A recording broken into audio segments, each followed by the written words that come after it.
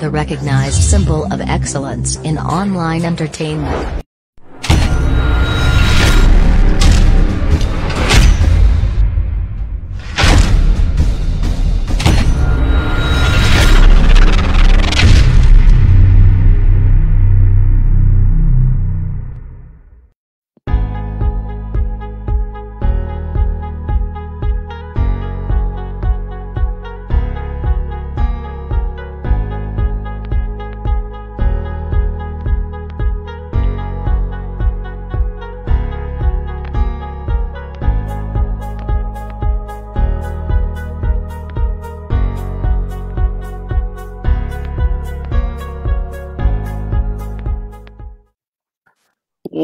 Welcome, everybody, to another edition of Sports Church right here on Levet Radio Syndicate. I'm your host, John Kerman, aka Mini. I'm a United States Marine Corps veteran. 2311 was my MOS. Ayoyes. I'm a card carrying member of the E4 Mafia, allegedly, and I'm an OG of the Vet Radio Syndicate. Uh, Sports Church show three Marine Corps veterans and a Patriot breaking down the week in sports. And let's start ahead with uh, you know initial thoughts, a little hot takes. We're gonna go straight to the Pook Dog wearing that god awful Chicago Bears uh, spell cap. But uh, yeah, what's up, Pook? What's new? What's uh, what's happening? What's interesting? How you doing? Great, everything's great. You gotta love the Chicago Bears, my man. You got they're giving a game to. Uh, no, you don't. No, you don't. absolutely, you have to. You have to love the Bears. That's, that's the Saints are doing a real good job of loving the Bears. Yeah. What's the score right now? Oh, uh, that's that is a three point spread. It's yeah, uh, 23 to 13. Right now. 10 now? 10. Yeah. 23 13 Saints. Yeah. Damn it. Man. Yep. It was 16 to 3 the last time. Was, that really sucked. Yep, yep, yep, yep, yep. Hey, uh, that's, that's okay though. Nothing to really get down about. We had we had an interesting weekend in UFC action, my man. Cool, I had, cool. I had a lot of fun with it just because I recognized all the fighters fighting. You know, another Las Vegas card. You know, so that was a lot of fun. Nice.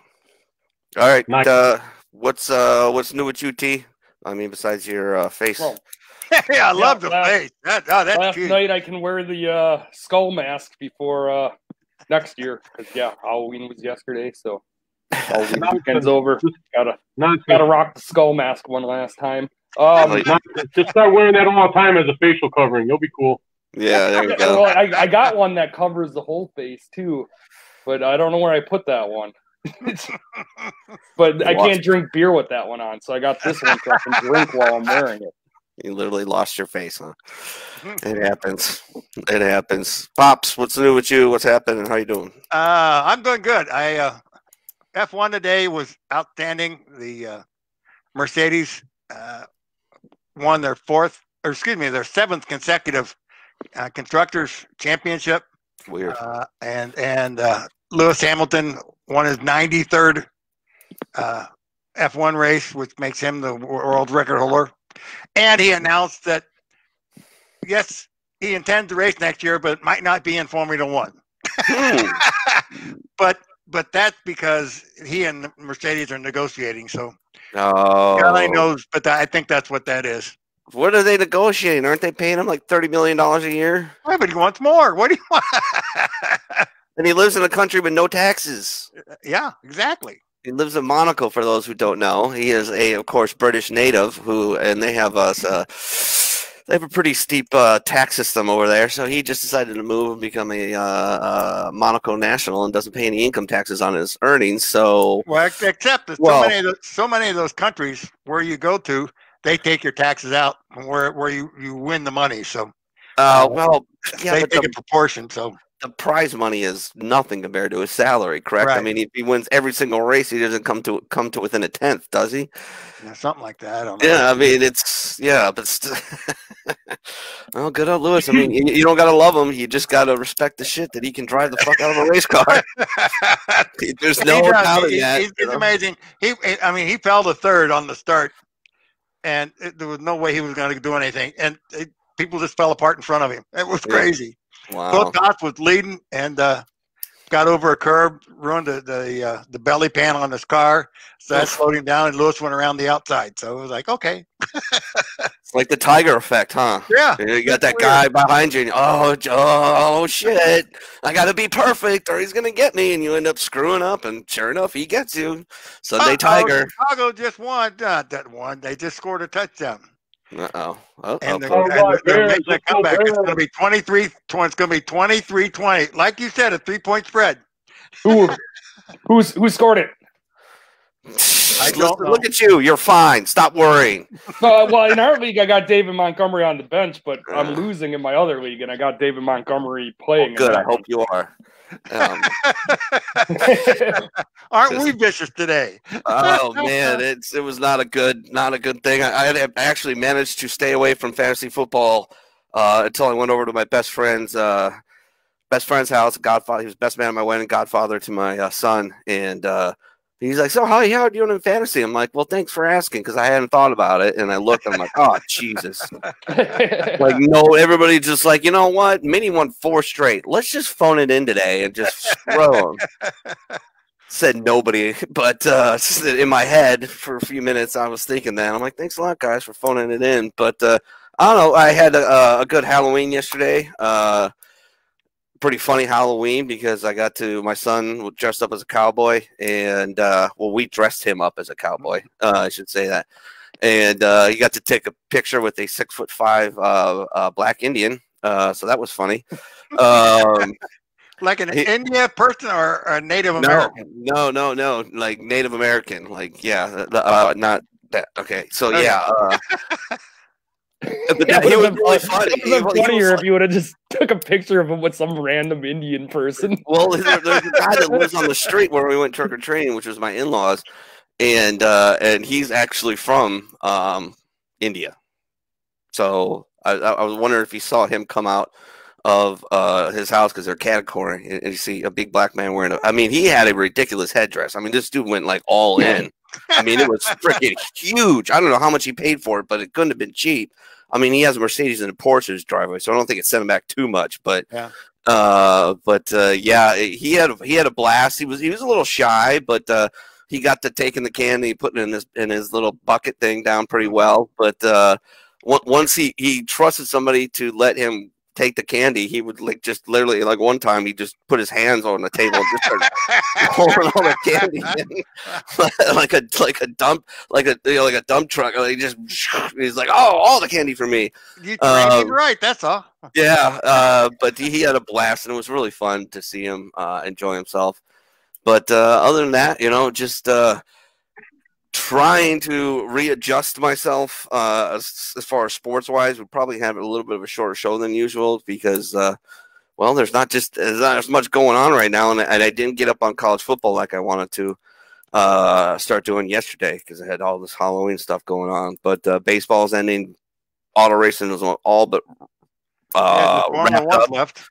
Yeah, and uh, so no hockey, no basketball. Uh, not that anybody really cares about basketball. And if you don't believe me, check the ratings. Um, so yeah, we're gonna do our best though, and uh, we'll start out as always with our our betting expert and uh, allegedly ish, uh, and our UFC expert, Mr. Pook Dog. What's going on, brother? How was uh, how was the UFC Las Vegas fight card last night? Bro, I'm I'm definitely a betting expert if there's ever such a thing, but UFC expert, no, I don't think so. I mean, if you want to talk about maybe UFC's path, yeah, there's a lot of moving parts though right now. What's going on in the UFC? There's a lot of new up and coming fighters. The old roosters are dying and they're making way for the for the new young ones. You know what I'm saying? There's a lot of there's a lot of fighters I have no idea what organization they were even fighting in prior to this. You know, there's a lot of but but we did, however, however, that being said, we did have a great card yesterday. We had fighters that I actually knew who they were, actually, people that we've seen fight before. We had Bobby Green fighting. We had him fighting uh, Thiago uh, Moisés. And we've both seen them guys fight before. And Bobby Green lost a close decision. Did any of you guys have a chance to catch the fight by any chance? I I did not. I I uh, I was I was swamped and had and didn't really make that much of an effort uh, because I had Halloween stuff all day, and then, And then we, we did, did the show last night. We did an impromptu Halloween all show right, last night. So That's fine. That's so fine. Just try to keep up with me. That's all I'm saying. You know what I mean? we Yeah. can only try to ever keep up with you, but it's all we're ever Right, trying we do. Kevin Holland. Okay, Kevin Kevin Holland. He is the next biggest thing. I know we talked about this guy before on on our show. I guarantee we have. He is the next biggest thing in the UFC in my mind. He's just running through opponents. He ran through a guy last night, uh, Charlie Antav- Antavernos, uh, a Spanish name. You uh, know, uh, Antaveros, Antaveros, probably uh, probably could spell it if I, but have a tough time saying it. But he ran through that guy. You know, we also we also had a chance to see. I know you guys are going to recognize this name. Who guess who fought last night? Yes, used to play football. oh, uh, Oh. Greg Hardy. Guy used to play football. Who fought last night? Greg Hardy. Yeah, that's what I Go. might guess. Bingo, bingo. Man, he put a Nice. whooping. He put he put a he put a freaking whooping on. He put a whooping on Greene last night. That that, that uh, I'd hate to be his wife, not Greene's wife. I'm not calling Greene a wife beater. Oh, I'd hate to be I'd hate to be Greg Hardy's wife. Is what I'm saying. I don't. I'm not sure how that comes about, but that's okay. Yeah, yeah, yeah, yeah, yeah. You can go a lot of ways with that poke, but uh, no, good on you. Holy shit! But one way or another, if you're Greg Hardy's wife, you're definitely going to take a pounding. Oh God, dude. So we, had, Oh. we, had, we also had Anderson Spider Silva fighting. You know, as you know, Anderson Spider Silva, one of the UFC greats. You know, makes you wonder why this guy don't just retire. But I guess if you were cashing checks the way he is, you probably wouldn't retire either. Plus, the man has a giant ego. Um, I don't know this this fight. Well, go ahead. I would say, don't they all? Don't you kind of have to have a pretty big ego to be a, a cage fighter? That's part of it. Yeah, that's Yeah, part of it. you You know, I've, I've actually heard Joe Joe Rogan say that um, you have to almost be damaged as a person. You really have. You have to have something to prove. You have to have a reason. You have to have a reason. You're not going to count me out. I'm going to show you. I'm going to show the world. That ha- you have to have that kind of chip on your shoulder. Yeah, absolutely. I, I, I would think so. You know, it's an art, right? Mixed martial arts, and most Well, artists man- that are great are a little bit um, uh, sixes and sevens. You know, you almost have to be a little bit. I think. More and more, more and more though, we're getting better and better athletes all the time. Better and better athletes. Spider Sure. was one of the one of the very first ones that was a great athlete that happened to be a great fighter. Ur- Uriah Hall fought the Spider, and Yeah. um, to no better surprise, anyone that's anyone that's looking at the looking at the odds and making selecting plays and things of that nature, Uriah Hall won. He's a he's a pretty heavy favorite considering he was fighting one of the all time greats, and it really looked it really looked like a a sparring session. And and before you kill me in the comments, what I mean by that is these guys were like pawing at one another, pawing at one another, pawing at one another. Every time, every time, uh, every time somebody, every every once in a while, someone would get freaking cracked with a good shot. Every once in a while, someone would get cracked with a good shot. Third round rolls around. Anderson Silva gets lit up at the very end of the third round. Little ground and pound action. It looks like the fight might get stopped. Saved by the bell. They come out the fourth round, same thing. They're just kind of like pawing around with one another, pawing around with another. couple hard shots land, and uh, fourth round TKO. End of the end of the end of the fourth round, Uriah Hall just overcame him with uh, a nice shot to the head, landed. Nice shot to the head, landed. Nice right hand landed to the head, put him on the canvas, and then from there is a little ground and pound. You know, rough seen enough.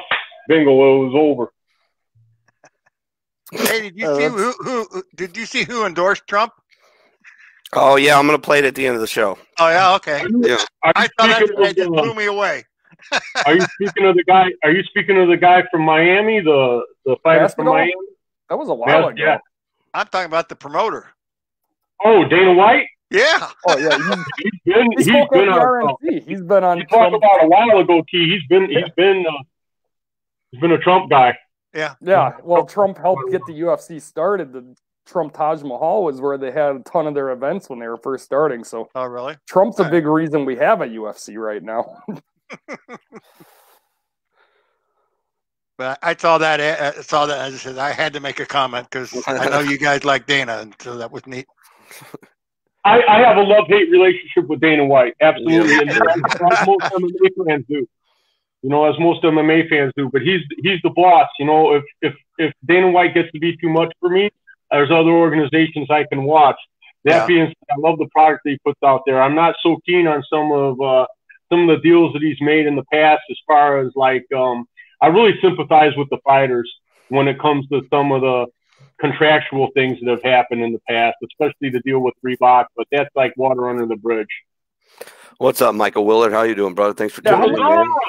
How much longer is the Reebok deal got? Because they signed a new one with Venum, didn't they? So the Reebok deal's coming to an end. You're bringing me news, brother. Well, I You're heard that. I, I heard that. Uh, I heard that like a month ago. That uh, I, you know what? Honestly, now now that you bring it up, I think maybe you were the one that said something about that on one yeah. of our shows. It might have been you. It might have been some other talking head. But uh, yeah, I, I guess you're right. But the same same same. I'm just saying. What I'm saying is when when you're on, okay, I, I shouldn't say only because right when when you're when you're getting paid like what let's say let's a lot you get paid a lot like to fight like maybe 20 grand yeah. 30 grand as like one of the guys that isn't one of the guys you know but that's your paycheck for like four five months and then you got to pay a gym out of that you got to pay trainers, you got to pay all kinds of people out of that money. You know what I mean? So a lot of a lot of up and coming fighters were using the ads on their shorts to supplement their income to make to in a lot of cases make more money off of what was being printed on their shorts than what they were actually making from a purse. Yeah. Now, um, yeah, I miss I miss the old advertisement days. I actually I like there was like more individuality to it. No, everybody that's, wears the same That's thing. another thing I liked about it. That's another thing I liked about it. these Reebok shorts are kind of pretty. They're pretty generic, you know. Yeah, I, I seen the uh, Venum. The Venum deal starts April twenty twenty one. So April is when uh, Reebok loses their sponsorship deal with the UFC and it transfers to Venum. Hmm. Yeah, I don't like it. These guys still make uh, they, they, they don't unless you're like the elite of the elite. You know, even the NFL has you know NFL, MLB, NBA, NHL. They all have minimum minimal salaries. You know, and and yeah. these guys are putting themselves out. You know, God, you know, 162 games a year. How many the NBA plays now? 16 games plus preseason. Like you know, they have retirement funds and everything like that. And fighters, you're literally putting your brain at risk, your life at risk, and you're not getting really any return it. And that's probably, you know, one reason I don't like Dana White. It's very funny. I'm, I'm very anti-union in a lot of ways, except for sports. I'm, I'm, all about the union in sports. I don't know why that is, but but I am. I, I, don't know. You know, I'm hypocrite just like every other person on the planet. Um, at least I, you know, I admit it. Like uh, most don't, but um, well, yeah. Well, here's the thing, Minnie. I think what you what you like is you like fairness. You don't like people sleeping in their trucks and getting paid for it. Yeah, yeah. It, it's yeah. It, it's just yeah. I, I, I don't like it. It's the, you, you know you're putting out an amazing product. You are the product, and you're not getting your due your due course. And uh, you know, uh, I hate to sound like a socialist, but how much money do you fucking need, Dana? I mean, how much money do you need now? Seriously. Like, you know, I think there needs to be reforms in the UFC. It's a great product. There's no doubt. Like you said earlier, Pook, it's a great damn product. Uh, there's awesome fights out there, tremendous fighters, good stories. He's done a tremendous job. He's a hell of a promoter. Apparently, a very good businessman. But, uh, geez, like, you know, you're a guy who scraps for years and only get to the mid-level tier and you get done with it and what do you have nothing and you sacrificed you know 10 years of your life to for a goal he, has, he has a number of, of fighters under contract with him right am i not correct um, in that oh yeah of course Oh, of so course, yeah, a lot, a lot, a lot. So they they've they've got salaries and they've got retirement. There's no doubt about not that. Exactly, they get they get they get paid. Uh, I'm not exactly sure how these how these contracts are uh, structured. yeah, most of the money you fights. make, most of the money you make is performance based. You got knockout well, of the night no, uh. Believe it or not, that's the way the world works. Performance based. True, uh, it, it's mean, a very good point. But uh, like you know, you got a minimum salary. You know, drivers get a salary. No, they don't. They get paid by the mile. Uh, if they if they turn mild, they get paid. If they don't well, turn mild, they don't get paid. Yeah, well, I mean, it, it it's a performance based world out it's there. It's still there. Yeah, it, it, it's it's it's wild. but uh, I I would be surprised if the guys that are on salary don't have something sitting back for retirement and so forth. I don't know. Well, Pookie, you need to look in that for us, man. I, I, I can I can answer a lot of these questions right now. Uh, Chuck Liddell's broke. Um, there's a lot of guys that struggle with their finances. There are a lot of guys that didn't put stuff put money away when the times are good. There's a lot of guys that never quite reached the level where you know. It, it, it, let's put it this way, pops. You're you're right. It is all performance based and you might get a contract. It might be for a large figure, but you're going to have to fight, let's say, four fights, right? You'll have you'll have to fight four fights within the next right. two years, whatever it is. Now, this the contracts might be structured a little bit different than what I'm saying, but it's very close to what I'm saying. So, so um, you will get, like he was talking about, you get you will get bonuses for fight of the night, submission of the night, things of that nature. They can be a lot of money. They can be fifty thousand dollars in a lot of cases, right? That's what he normally gives out. He can give you a bonus just be, he's the he's the president, man. He'll he can give a guy a bonus. Let's say there was two fights that were running close first and second for fight of the night. He can give out two bonuses if he wants. He's Dana yeah. White, right? But you got a base there of what you're making, and you're you're you're an independent contractor, and yeah. that's what you're showing up the the basic agreement I know is pretty much they're going to pay for your medical bills. Yeah, but that's how it always was. The uh, I don't know how they're I don't know exactly how it is unless you get your own doctor. They're going to pay for your medical bills. They're going to give you so much to show up, and they're going to give you so much to win. And that's these contracts. These contracts are like um, four or five fights. So let's say you make a name for yourself on your third on your third uh, on your third fight in the UFC, right? Uh-huh. You still got two fights left on your contract. That's what that that can suck. Yeah. That I mean that can if you're the fighter that can suck because you got a lot of when you there's it's okay, there's a big difference between making the minor leagues and being a major leaguer, right? As far as money is concerned, right? Oh yeah, right. huge, huge, right? Oh okay. yeah. A lot of these, a lot of these guys are on the minor league bus going to the big show. If that makes any sense. I don't know what yeah. I'm exactly trying to say.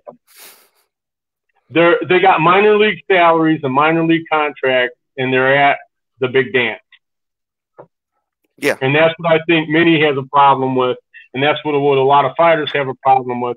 And something that really helped out the fighters prior to the Reebok deal was the fact they could slap advertising on their shorts and pay for uh, Muay Thai coach and pay for a gym to go, a, a yeah. gym to work out at, and pay for and pay for this and pay for that, and have money to buy food without going to the, uh, you know, federal government for food stamps and things of that nature.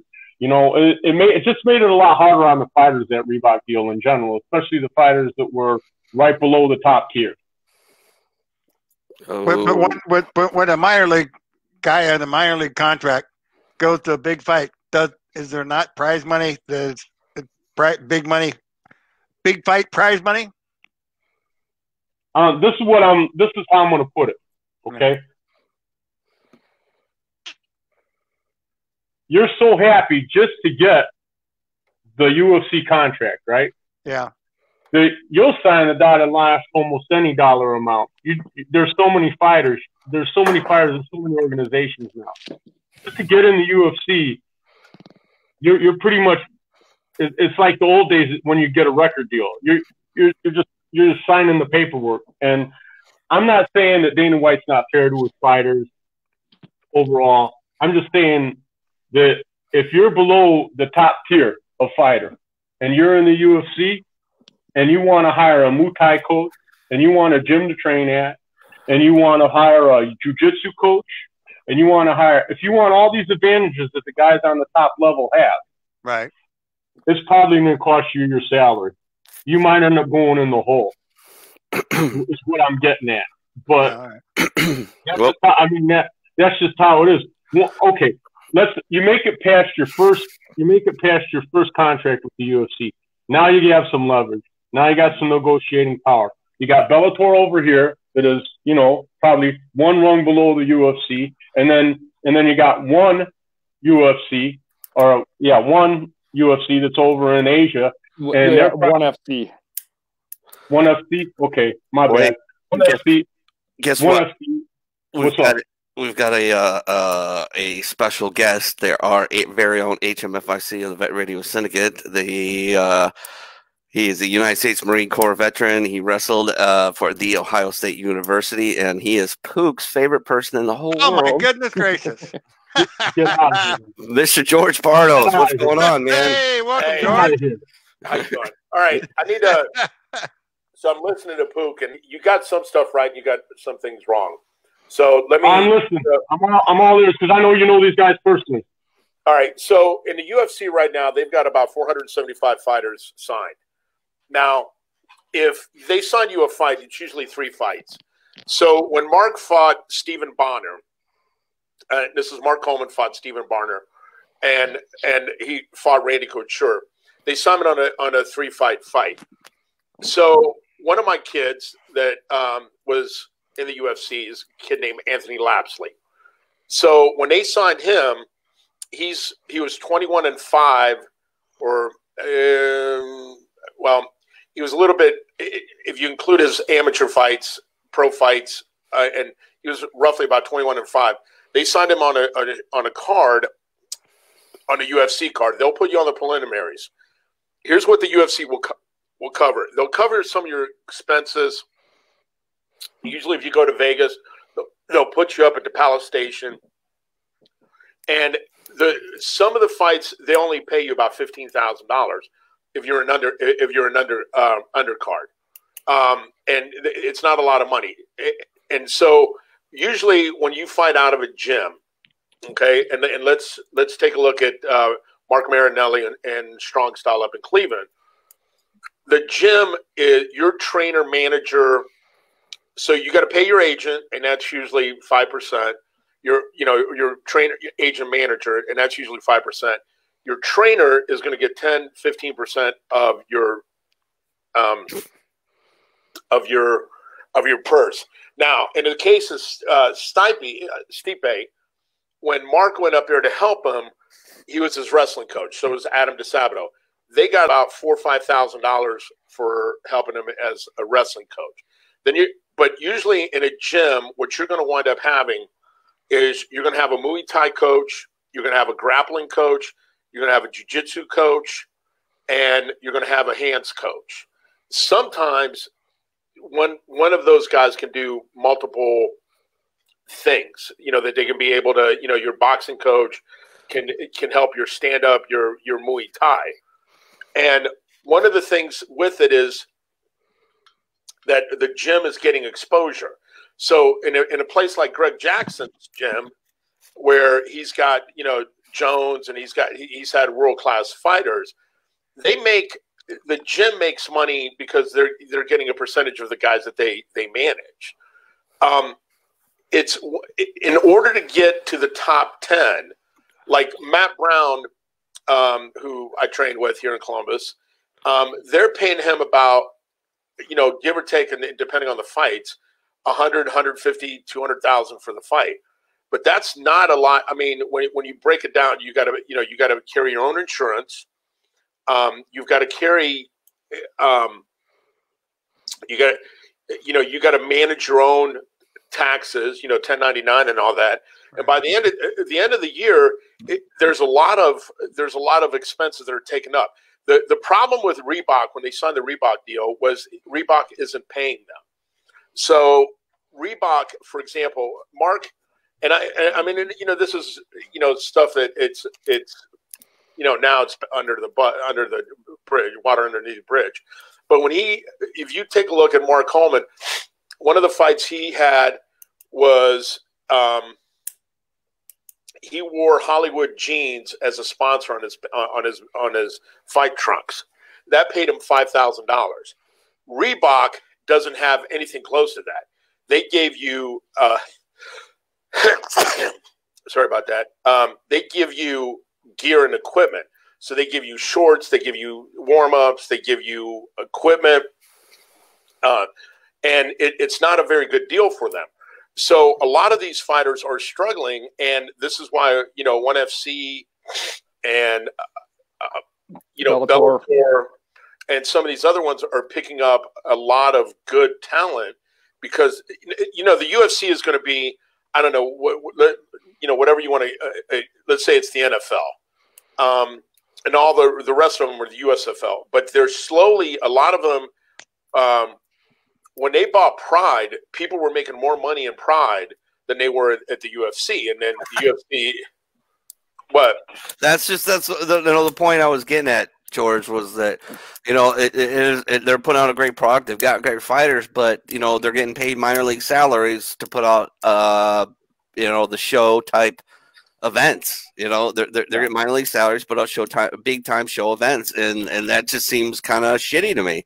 And, and, you know, you brought up the great point. Pook brought up initially, and you confirmed it. Is you know, the guys are in other series are making more money because they can individualize their advertising on their fight trunks or you know whatever they choose to wear, and and that just seems like Dana White being a uh, uh, I don't know. I, I just I like well, his. I don't like the guy. The thing well, you see with Dana White, the thing you see with Dana White is that he's televising all these events.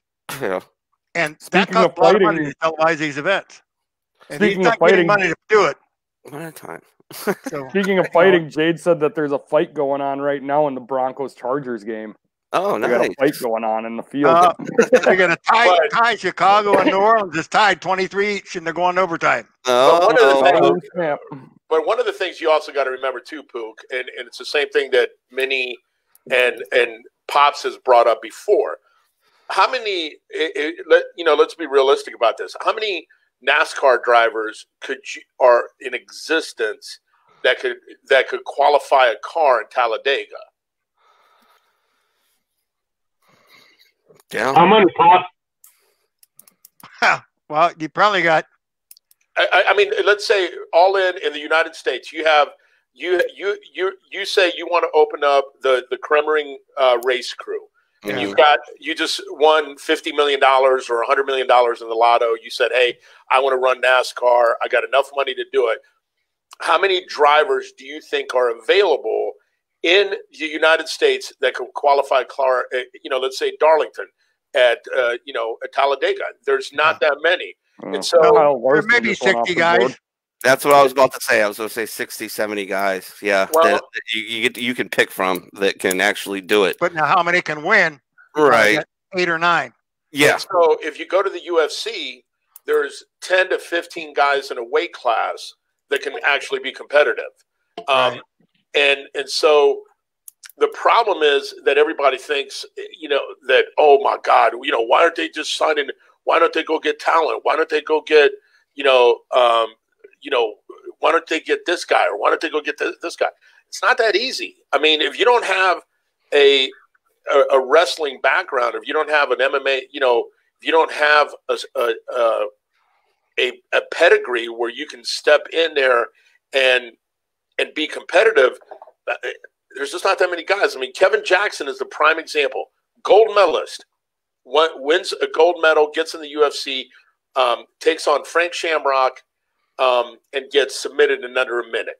uh, you know, so and, and, we're not talking about yeah. we're not we're talking about an Olympic gold medals. We're not talking about you know um, I got you know. Uh, Joe Blow, yeah, yeah, yeah. That's yeah. It's you know that was was so interesting about the UFC in the early days because they were really shaking up uh, the martial arts world because they were really figuring out what actually works in a fight and you know everybody was coming in with with different styles. And god there was tai chi dudes coming out there. You can't take me off if i have my chi center. Oh yeah?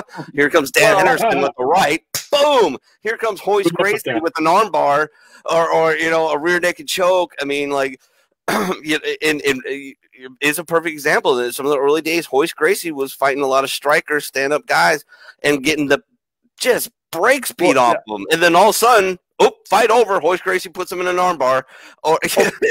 or he'll, or he'll hook somebody, and, and, and all of a sudden it's jujitsu now, and, and now no, jujitsu is not enough. You got to have striking, so you got to get Muay Thai, and you know we talk about this every almost every single sports church about well, you know, what you need to you do. Have, so. You got to have a you got to have a mixed. You, you got to yeah, have mixed a mixed martial arts, baby. You got to have jujitsu, Muay Thai. You've got to have boxing. And here, here's the, the, here's the crazy part that I, am gonna I'm gonna give you a, a prime example. You don't have you don't have that many coaches out there. You you you think you, you, you want to talk about fighters? There's some uh, shitty coaches.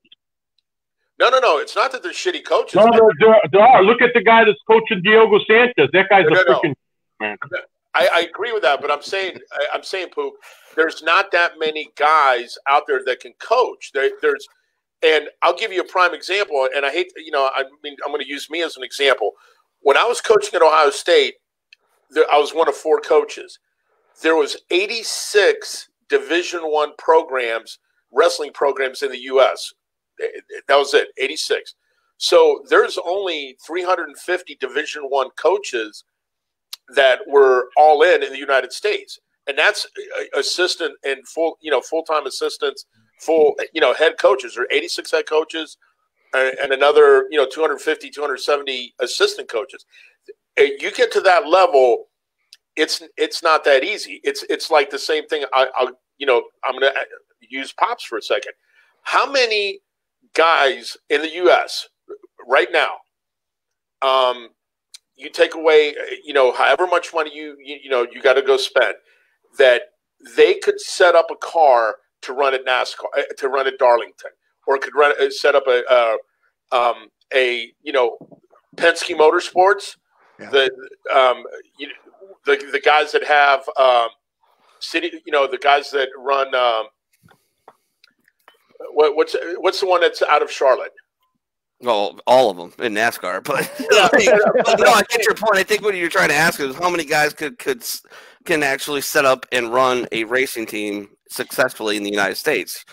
Like, and, and so it's the same thing with I've I've worked out and I've helped 15 of my guys that I've helped have been in the UFC that I've trained with. You know, they've been you know with you know through Ohio State, through Hammer House, and all that have been in the UFC we've had probably another 40 or 50 that are below you know that have fought in in you know king of the cage and and the the same kind of fights there's not that many coaches that have the ability to you know to teach you know to, to be able to teach you how to be a full fighter yeah. and, and so the the problem is with the one thing that's also happened with Dana White has been since they sold the UFC, they have stockholders now, and one of them is Tom Brady, the fucking Antichrist. Um, I knew that was coming. so, um, they have to, you know, when they sold the UFC, and they've had, you know, they they sold it at the right time. Um, they they're having to produce money um, to you know, they're having to get a return on investment to all their, you know, all the people that bought in. So it, you you put that on top of there, they're treating the guys in the UFC like shit, with the exception of the ten stars that are, you know, legitimate stars. But even now, you know, you just lost Khabib, you lost Conor. Who do you have that's a who? Who would you put as the number one UFC star? John Bones Jones. That's about it. man, and, and I don't, I don't want to, I don't want to I don't like the guy, but I'd have to say the the, the leprechaun over there. The little fruitcake. oh yeah, Conor McGregor. That, that, guy with the proper glove and all that. Uh, the whiskey guy. Yeah, but he's yeah. not. He's not coming back to the UFC. Bravo. Well, he he's may gonna, now. Dana may be reaching out because he's losing guys left and right. Uh, so this could be two. You'll eventually. They'll give him the fight. He's gonna yeah. I, I, mean, that's my opinion. That, that's my opinion. I don't really want. Hey, Today I'm all right. Today I'm agreeing. I'm doing nothing but agreeing with you. All right. Okay. HMF IC. I'm doing nothing but agreeing with no, you. No, but I'm saying Pookie. Maybe, here's the thing. I, I might have said some things weren't quite factual, but you know, it was how things were explained to me. But basically, what I'm saying is, if you take the guys on the top tier, right? You take the right. guys on the top tier, and you take the guys that are still locked in to fighting contract that are up and coming fighters that just now breached the top 10. The disparity in the income and, and, and guys used to be able to supplement their income with the, with the sponsorship on their short. That's all I was, that's all I was, in a nutshell, that's all I was getting to. I would have liked to have gotten to the fact that uh, Dana White does have uh, people that want dividends. That that that that that organization was bought for a shit pot full of money, more like a container full of money, freaking shipping containers full of money. If you were to palletize the money, just imagine like a, sh- shipping container after shipping container after shipping container, right? So they, they have, like you said, they have to show a profit. They have to show a profit, and um, and that's why they were that's why they they were pushing these fights out during the pandemic. We all know that, but. I have nothing but I, you are the MMA insider. You actually train fighters. He got a roll. You own, he owns a roll cage. He's got a cage to roll in. Do I have a cage rule? You know what I rolled on? the hell my own neighborhood I grew up in. That's where you know he's got his own roll cage set up. He's been part of Hammer House. Well, I mean, you're you're the MMA insider here and and Pook, but the other thing is that too is that people also, you know, you this is something that that you need to educate the people that are watching the UFC and saying, hey, listen, why don't we have this guy? Well, he's not that good. Um, you take a look at at you know, you take a look at who who has dropped off at heavyweight, right? If you take a look, Alistair Overeem has been fighting 15 years and is fifth. He's ranked number fifth right now after you go to, you know, you, you have Stipe, uh, I mean, you have Miocic at number one. Then you have Francis Ngannou and Curtis Blaydes are two and three. trying to name somebody on, on, on that list after him. Right? Yeah. And, and, and you go, there are guys that have been knocked out, and we've seen them get knocked out. Like the Black Beauty comes to mind right off the top of my head, or or, or um, or or or the Junior Dos Anjos. Yeah, yeah. been knocked out. These guys have been knocked out. They've been picked off by. They've been and and even Alex Roering, like you're saying, Alex Roering has been all these. You know, it's, it's, the, the heavyweight division's been hurting in UFC for a long, long time. And here's know? one of the things I want to. Uh, here's one of the things I want to bring up that that you that uh, um that you can't uh, what you call it that, that I don't think you're you're taking into account. One of the things that that happens, especially in the UFC and especially with fighters, right? This this is a dynamic to to fighters more than anything else, and it happens to boxers. It happens to they fall into a, what, what they call a, a, an operational pace trap. So if you take a look at, at one of the things that's important in a fight in a box, in, let's say let's just use boxing where people are a little bit more familiar with it. You have what's called a, a punch count. Now the all the the average welterweight middleweight punch count is 791 uh, punches per boxing match. So if you're 155 pounds, um, you know, in, in that range class from 147 to 160, the average boxing match, 12 rounds, is 100, is 791 punches. That's your operational pace. Now think about that for a second. You're throwing a hell of a lot of, you know, that's you know that averages to about 60, you know, punches around. Go to the heavyweights, it's a lot less. But one of the things that happens in MMA is fighters always create patterns. The it, it's very hard to change a fighter who if he's got a hole in his in his defense or he's got a hole in his offense or you know there's something not there um, he's going to wind up getting exposed badly. Prime example is ronda rousey. When they they paired her up and she got knocked out no one took a, a the no one took the time to say hmm, you got a world class kickboxer that's had 30 fights. Um, maybe this isn't the fight for her. And it exposed the hole in her in Ronda Rousey's you know offense that if you can't get if she can't take you down, she doesn't have the hands to beat you, right? Holly Holm just decimated her with what?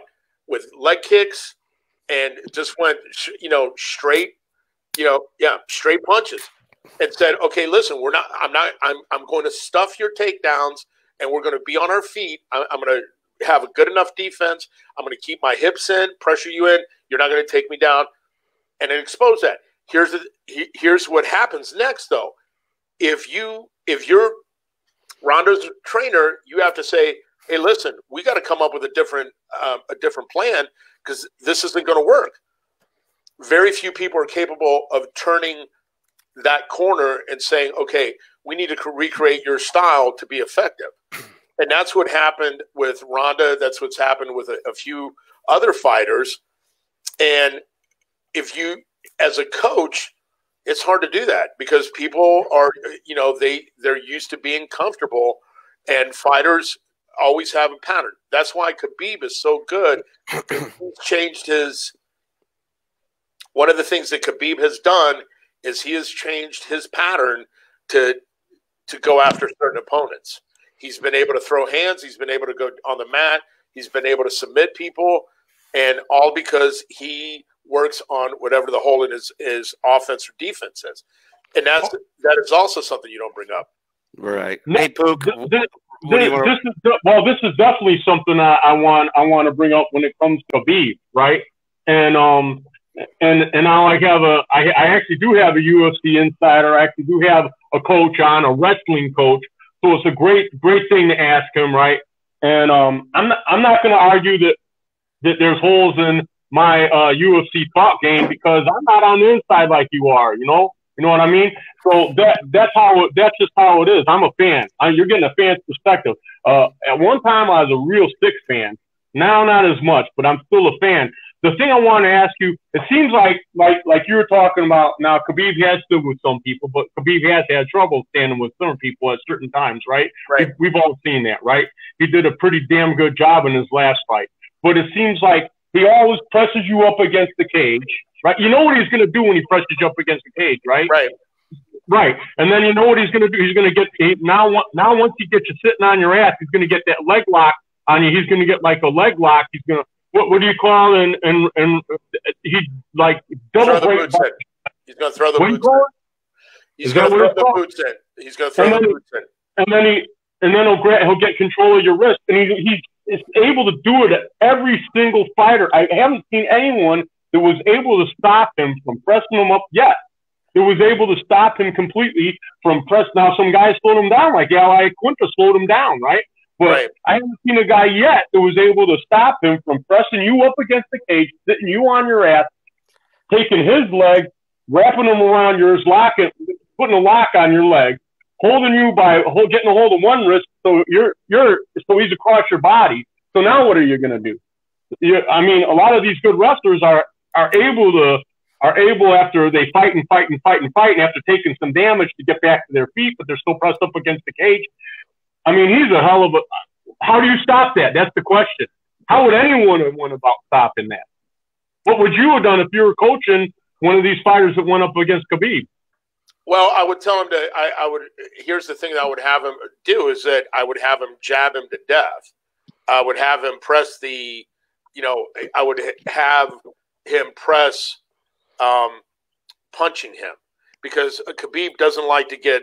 Khabib doesn't like to get um, punched, and that's one of the things that. Uh, well, no, no, no, no, no. Hold on.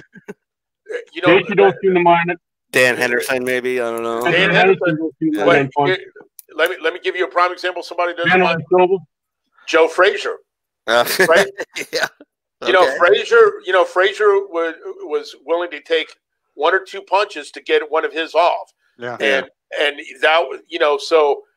Khabib doesn't like to get jabs, so if I have to fight against Khabib, I am going to I'm going to push the action to not let him get set up. I'm going to have to jab him. I'm going to have to take shots shots at him when you know I'm going to inside leg kick him so he doesn't get you know so he does not get set up. He can't get his offense set up. The minute he steps his left foot forward, I'm going to kick his shin. I'm going to kick his calves. Um, I'm going to go frustrate him till he makes a mistake, and I it opens up a hole that for me. So if if you are going to go after uh, you, go after somebody, you pressure in on them. It, would be difficult, and then when he gets you up against the, um, you know, you, you got to do the same thing that you do to, you know, you're you're talking about um, Chuck Liddell um, when you know when he, him and Randy fought. Um, when he presses you into the ring, you hold on and you turn in on him and not let him get set up. Now that's difficult, and you got to have your guy in shape. But it, one of the things is that the minute you get punched in the mouth or you get taken down, your your whole game plan it's got to go out. Sometimes goes out the window. All right, we got to move on because we spent 50 minutes real, real quick before we move on. All right, we got, 30, we got 30 fucking seconds. We spent 50 hey, fucking minutes on the UFC. UFC insider on the show, sir. And we don't have enough to talk about. Well, we're talking. What do we? What do you want? well, we've got other things to cover. No, that was that was here. That here in the, that was my point. Like I thought that's what Gaethje was. Good. I thought Gaethje would be able to execute a game plan similar to the one you're speaking of. And, right, and right. Gaethje's coming in there with a pretty good wrestling pedigree, from what I understand. Uh, I don't know, man. I, I mean, I mean, the, obviously the guy's not superhuman. Well, you got to you got to execute though. I mean, look, Joe Frazier had a good. I'm sure he had a good plan against Ali, but it didn't work. Well, he did on the first. I'm sure the Buffalo Bills in the '90s had a lot of good plans going up against the teams in the Super Bowl. That didn't work out well for them either, did it? That's you got to execute. You can have the greatest plan in the world, but if you don't execute, you don't execute, you don't win. You don't score until you score. From whatever movie that's from maybe American Pie. I'm not sure, but um, I mean, yeah. I mean, look, uh, we, we you know, I, I, was rooting for Justin Gaethje. It didn't happen. I'm sure he had a great plan to go to beat Khabib, and I'm sure his coaches and his like trainers had a great plan. To me, it didn't work. It didn't work. Yeah, it didn't to work. me, it looked like his plan was running around the ring and not getting taken down. Yeah, yeah. That looked well, like his whole plan. That looked like the plan looked like he he was like like the way Mayweather will run away from fighters and not get hit and, yeah. and pick you apart. It looked like Gaethje's whole plan was running away from Khabib and not getting taken down to me. Yeah, I mean, well, that's a, great if you run around, but you got to tag the dude, and he, he wasn't tagging him. So, hence the plan fell apart. He didn't execute the whole plan. So, all right, final thoughts on the UFC because we've got some racing, probably about 30 seconds in NHL, a little bit of uh, NFL, a little bit of MLB, and uh, yeah. So, hey, final thought is everybody's got a plan. Um, everybody's got a plan to get punched in the mouth. So yeah, yeah, exactly. hey, and when you're out drinking in a bar, the the worst possible thing you can do is go pick on that old guy with fucking cauliflower ears. Actually, I had a question for I had a question for George too, but uh, I guess we're kind of out of time. No, you can ask. But, what the hell? Go ahead. Go ahead. All right. So ahead. you so you coached uh, at Ohio State. Um, uh, which of because Big Ten's got some legendary wrestling coaches. Who do you think would have been the best uh, wrestling coach from uh, back in the heyday to uh, take over as a UFC um, wrestling coach? Dan Gable, Jay Robinson, uh, Barry Davis, Jim Jordan, somebody else. If you're talking about the kind of, I, I, I will tell you this: if you if you're talking about a style of wrestling that is that would be better for um, the UFC, um, I, it'd either be Russ Hellickson or Jay Robinson because they have three Hall of Famers. Okay. Yeah. yeah. I was just kind of wondering, yeah, Jay Robinson. I know he had those intense camps too. A lot of guys I knew went to those when we were younger. I just, well, you got to remember, uh, you know, one thing about Jay Robinson. I don't know if you know this or not, uh, but Jay Robinson was Ranger. Nice. I just wish Jim Jordan would, uh, you know, uh, uh, power slam uh, Jerry Nadler just one time. hey, I, I, am sure he's really thought about doing oh, that. all right, all right, uh, all right, uh, pops. What you got for us on uh, auto racing? I know, I know the uh, season. Is right, I'm going to sign off. Hey, I'm going to sign off. Thank you guys for having hey, me. Thanks, hey, George, really appreciate you coming. Thanks for coming on, George. You did a good job. Appreciate it. Um, the, amazing thing is is that uh, the guy that won the the regular season championship is not in the championships.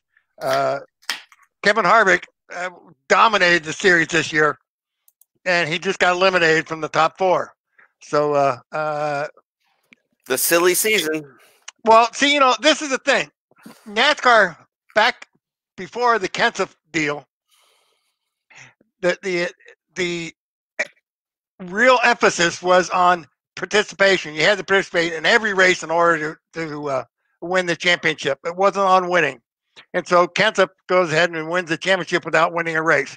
Uh, and so they changed it to this this this system we got now, where we get playoffs. Now you got a guy that just dominated the series all year, and he is not. He doesn't have a chance of being a champion, and that that's that, that's absolutely crazy. So it, it it's nuts. Uh, it, it really is a shame to see. You got you got two former champions in there uh, that will have a, a, shot at the championship. But it, it is just, I don't know. Uh, it came down to Harvick needed to get one more pass in in order to uh, to uh, make it into the championships, and uh, he only had six laps to do it, and it didn't work out real well. he uh, he ended up spinning out Kyle Busch at the start finish line. Kyle got across the start finish line, and uh, everybody passed uh, Harvick. So Harvick finished like 12th instead of, instead of like sixth, and so he, he was out of the championship because he couldn't pass Kyle Busch, and that that really gets my goat. But uh, that that's what NASCAR is today. Chase Elliott uh, had to win the race in order to, to get into the final four, and he did win the race today. Um, there's some real neat stories about uh, uh Chase Elliott. Um, and, and it comes about by Kyle Larson. They were doing a uh, interview with uh, Larson. It was Tony Stewart interviewing Kyle Larson, and uh, talked about, well, are you going to be able to do any of your dirt track racing? He, he says, uh, Mr. Hendrick said you, you got you got to be smart about it. Uh, and if you screw up, it's on you. I mean, you know, you get hurt, your salary stops. Uh, and I, I think that makes sense, but that's not going to stop him. The other thing we found out is that Chase Elliott wants to race, and so he he uh, he wants to do some dirt tracking. So uh, we got more guys that are going to be involved. So it's it's going to be neat to see uh, what what comes out of there. Uh, Kyle is is got a really good setup with with the Hendrick stables, uh, and, and, to be honest with you, he's got a chance to be a champion. Probably not this year. Uh, it's really, really, really hard uh, to win a championship your first year with a team. Uh, but he's got a good team. He's got good equipment, uh, and, well, you, you, never know. He, he's got the, the desire to do it. That that's the thing you need to do. Oh, he's and, a man on a mission. He's got to. He's a man on a mission now. I mean, that dude the, is fumingly pissed off. The dude has won over fifty percent of the races he's done outside of NASCAR. Yeah, I mean, yeah. And, and, that's they're talking World Outlaws. You're talking uh, USAC sprints. You're talking USAC midgets, uh, and, and, even a dirt dirt car, uh, a, a dirt stock car. Oh, that's beautiful. Uh, and, and, he won his second race. So, I encourage anybody. You, all you gotta do is get on Google, look up your local dirt track. I mean, race season is over, but come spring, they'll start back up. And if you've never been to a dirt track race, you gotta go. They're awesome. They're super fun, especially. Take, take goggles though. Do take goggles. Well, if the if it's if, if it's been wet lately and the, the track is moist, yes, definitely take goggles, especially well, for your young ones, because you you're gonna take a few. uh few clumps well, of clay in the head. You get you, if if it's wet, you get clops coming at you. If if it's dry, you get dust. Yes, and, and yeah. so you want goggles no matter what. And yes. I, I, I, can't wait to take James to his first dirt track race. I think he's going to lose his mind. I think he's just going to lose it because he loves watching sports. Um, uh, but I don't watch a lot of racing with him. I don't think I've ever watched any racing with him because it's usually on when he's taking a nap. But uh, I can't wait to take him to his first race. I mean, he's going to lose his mind. I mean, he's going to have headphones and whatnot, but uh, you know, to kill some of the yeah, noise. The, the, the, bad thing is that we don't have uh, uh ESPN Thunder. Mm. That that was really awesome short track racing. Yeah, uh, uh, and it it was a lot of fun. Um, uh, we did a couple of, of midget shows at Hales Corner Speedway, yes. and that was fun. Yeah it was also very terrifying being an eight-year-old kid holding the camera while your dad is on air talking to Larry Nuber and, and uh, uh, Bob Jenkins. You're up there on this rickety thing, like 40 feet up in the air. You're eight years old. You're holding on this camera for your dear life. You know, um, Yes, for for those I haven't, haven't heard it before, I was my dad's pack mule, and I'm very happy to do it because I, I absolutely adored my dad adored racing, so of course I love my dad, and I adored I adored you know going to the races and seeing them. Uh, you know, and the one time he didn't let me carry a piece of equipment, he ended up in the hospital. he dropped a forty pound recorder on his finger and cut it all the way down to the tendon. So you know, yeah. Yeah, it, it, didn't bother me until I really got a chance to look at it, and that that turned white. oh wow! But anyway, uh, that that was wild. Uh, it it, it, it, it's interesting to see how this this all comes out this year. Uh, the fact that uh, that uh, Lewis Hamilton is, is saying, "Hey, I, you know, I'm going to race next year. Just might not be Formula One." That is kind of freaky too. But Lewis is Lewis. I don't think he's looking to do anything else. I just think he's trying to let uh, Mercedes know, hey, we got some issues to got to cover. Uh, mm-hmm. Uh, but I mean, I don't know that you can compare Lewis uh, with anybody else uh, because it's a it's a whole different ball game. But uh, I mean, the, the, Mercedes car has been just so dominant; it's outrageous. Mm-hmm. Uh, I mean, and Toto Wolff was looking at replacing himself. So uh, you know, he runs Mercedes and he owns part of the Mercedes team. So he's trying to figure out who's going to replace him. He wants to go to a chairman of the board or a, a I don't know, president company or something like that.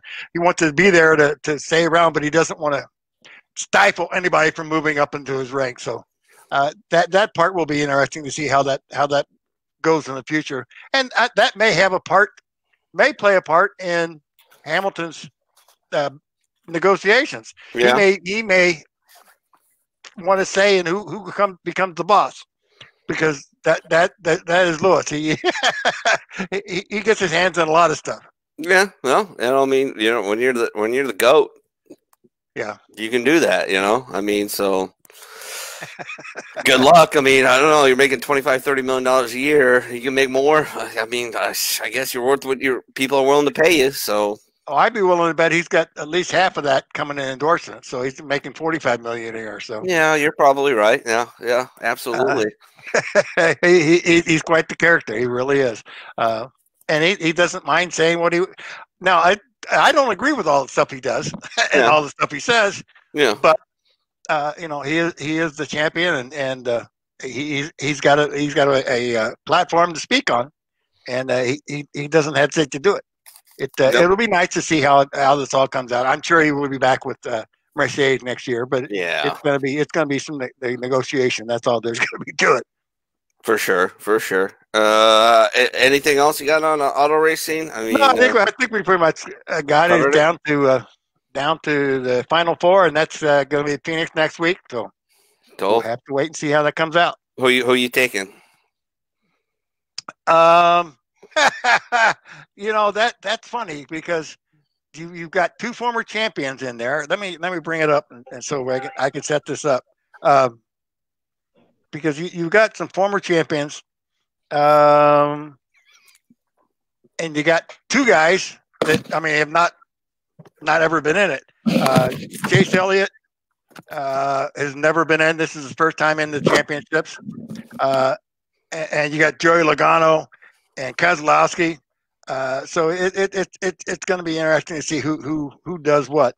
Uh, I I probably, to be honest with you, I I just think Chase Elliott's got so much momentum, and Harvick being out of it, uh, he's probably got the best shot of him. Um, the the 11 car uh, is, is you know for one reason or another he can't he can't win a championship, and I don't understand that. Uh, but uh, uh, we'll have to wait and see how it comes out. It'll be beautiful. Kevin Harvick wins next week. Oh, I'm sure he will, because he, will he'll be that mad. Yeah, and, yeah, uh, yeah. And Tony Stewart will be that mad. Oh, and Tony Stewart has got a lady. I forgot to say that. Finally. Well, no, not finally. He was well, engaged once before, but oh, that's right. I forget about that. Yeah. Uh, but now he's he's uh he's, he's made a Facebook official. That, uh, uh, drives for Don Schumacher and the. Uh, uh oh yeah, she's an NHR NHRA yeah. uh, top fuel driver. Yeah, yeah, yeah. yep, yep, yep. Um, and uh, they apparently uh, sequestered themselves to get out of the uh, the COVID deal uh, ah. together. So, well, that, that must have sucked for Tony. Um, yeah, yeah. pun but, uh, intended. um, they they were out in Utah and uh, doing some some dune buggy riding, and it was it was wild. They both turned the thing over. Oh, so I'm they're, sure. They're, yeah. they're even.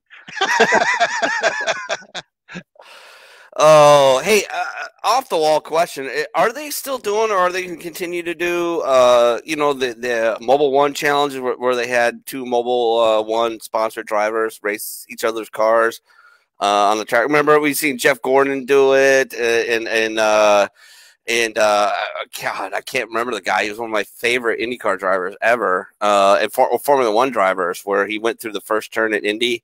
Uh, on the road course and went straight through the uh, uh, Tony raced Lewis Hamilton's car at Watkins Glen, and Lewis raced Tony uh, yeah. Tony's car. I, mean, I, think they, I think they do.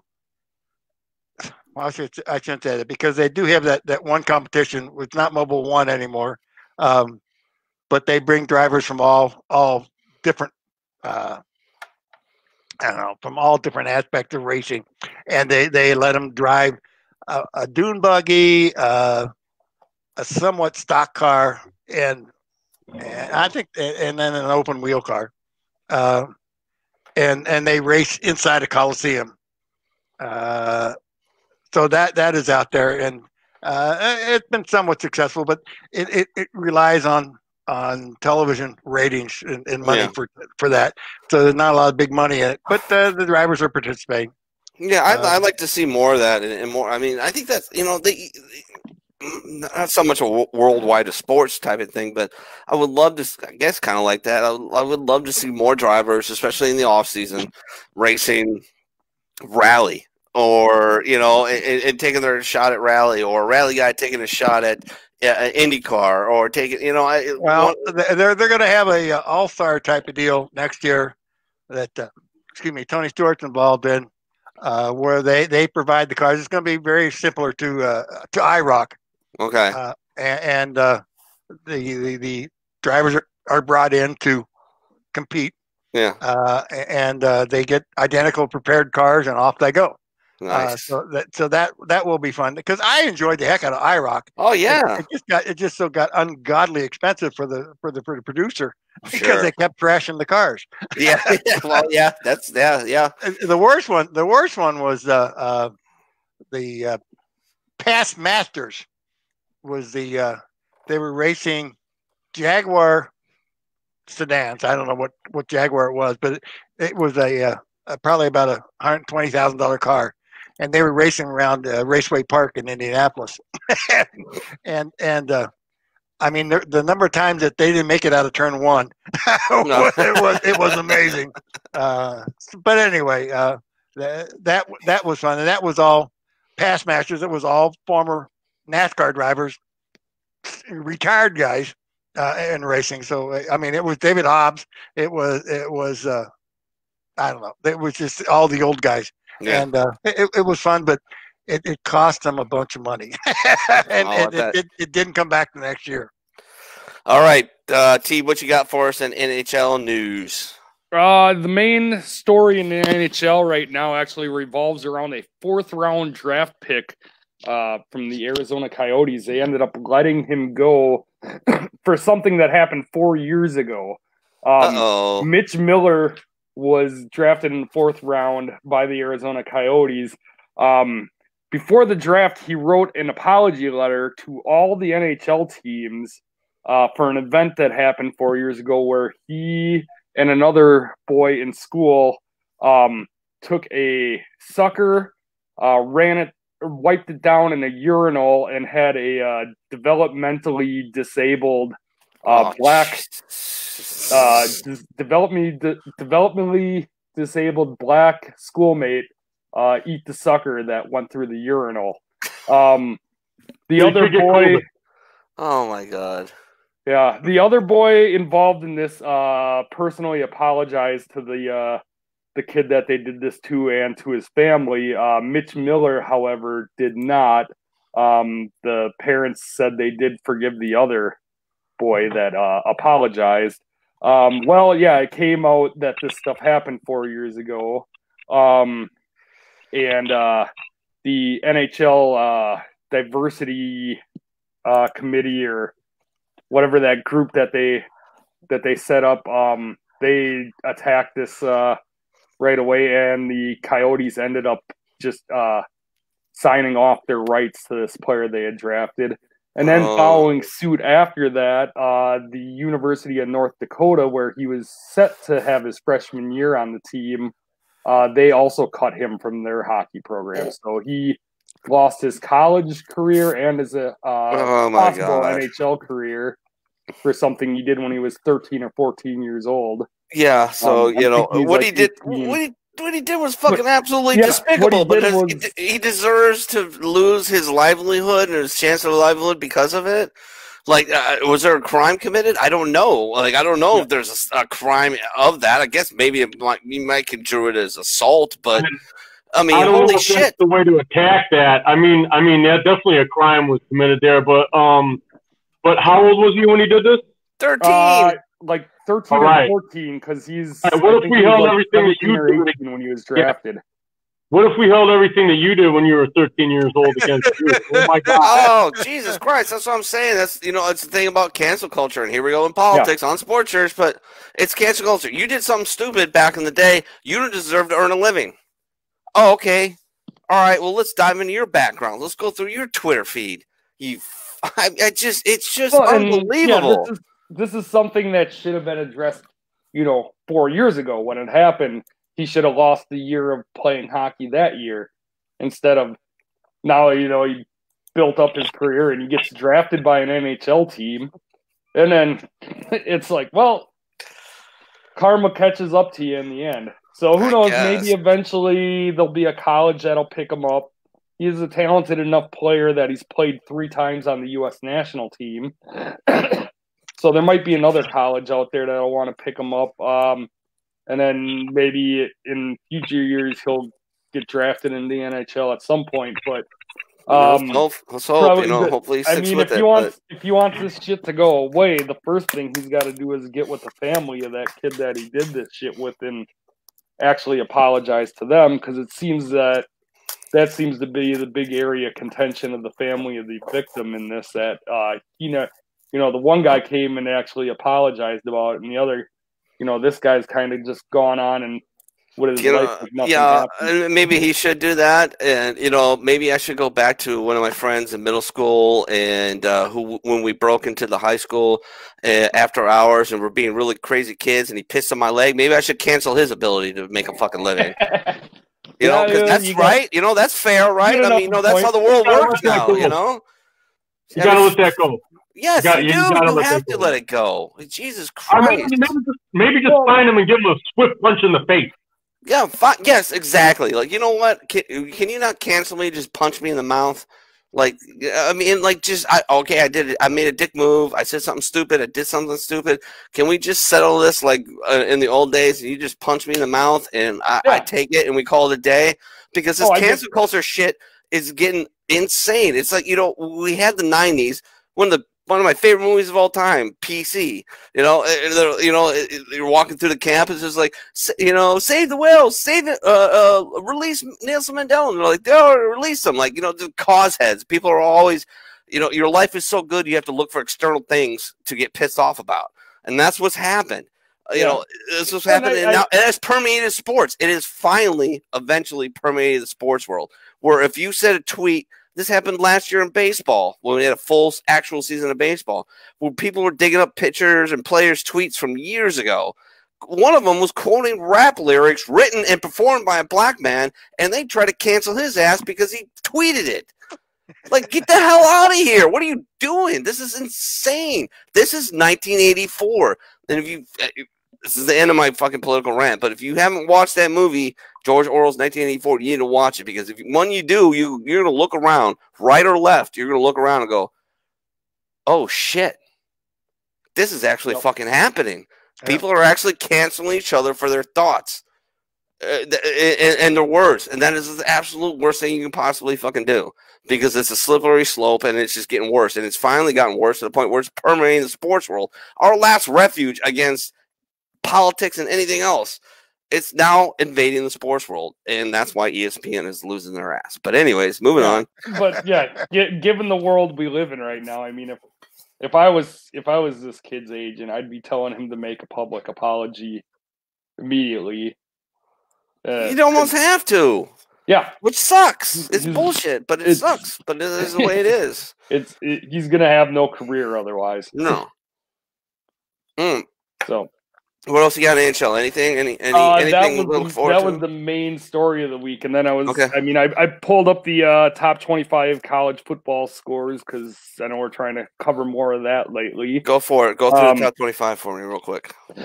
So, so uh, the number one, uh, Trevor Lawrence-less Clemson Tigers held off Boston College 34-28. Uh, Lawrence couldn't couldn't play because he tested positive for COVID, Mm-hmm. so he's on a uh, 10 day suspension or however you want to phrase it.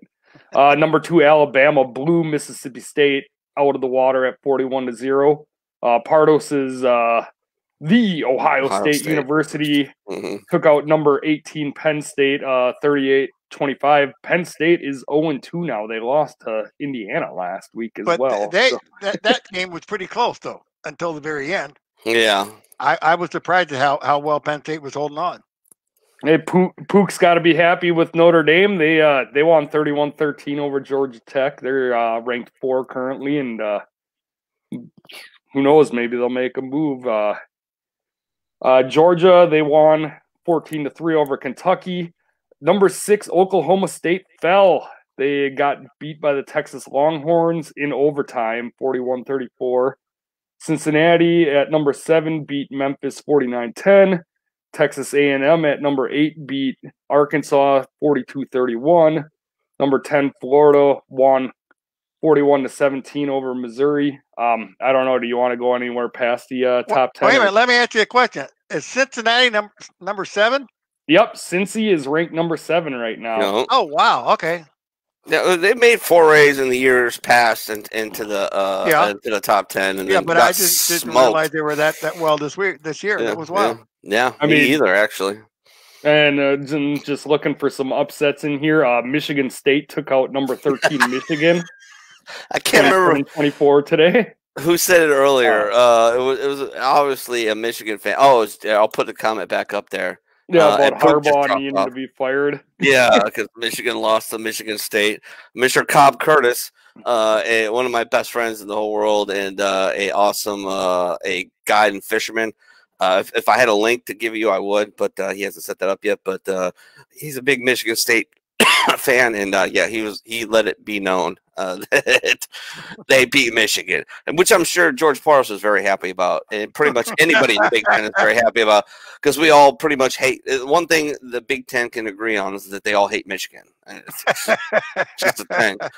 The, the other uh, the other upset in the top 25 was uh, unranked Virginia beat uh, number 15 North Carolina 44 to 41.